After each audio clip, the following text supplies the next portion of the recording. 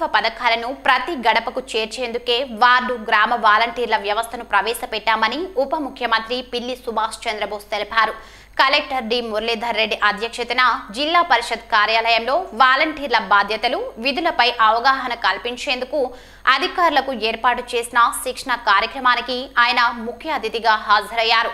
ముందుగా జ్యోతి వెలిగించి కార్యక్రమాన్ని ప్రారంభించిన తరువాత ఆయన మాట్లాడుతూ ఉగాది నాటికి ఇరవై ఐదు లక్షల మందికి ఇళ్ళ స్థలాలు ఇవ్వాలని ప్రభుత్వం నిర్ణయించిందన్నారు.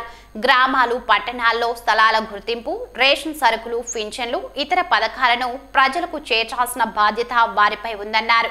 వాలంటీర్ల పనితీరును ముఖ్యమంత్రి కార్యాలయం స్వయంగా పర్యవేక్షిస్తుందన్నారు.